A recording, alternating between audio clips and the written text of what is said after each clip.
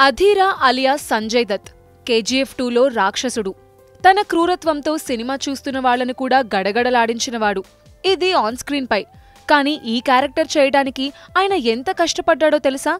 తనకు క్యాన్సర్ అని తొలి రోజుల్లో కమిట్మెంట్కు కట్టుబడి ఎంతో కష్టపడి అధీరాగా తనను తాను ఎలా మలుచుకున్నాడో తెలుసా?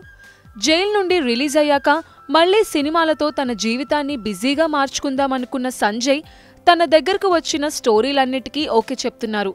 ఆ క్రమంలోనే pan India movie KGF two సినిమాకు సైన్ చేశారు సంజయ్. కానీ ఆ షూట్ స్టార్ట్ అవ్వకముందే క్యాన్సర్తో డయాగ్నోజ్ అయ్యారు. మొదట్లో తన ఫ్యామిలీ గురించి ఆలోచిస్తూ బాధపడిన సంజయ్ ఆ తర్వాత ధైర్యంతో క్యాన్సర్ మహమ్మారిని ఎదుర్కొన్నారు.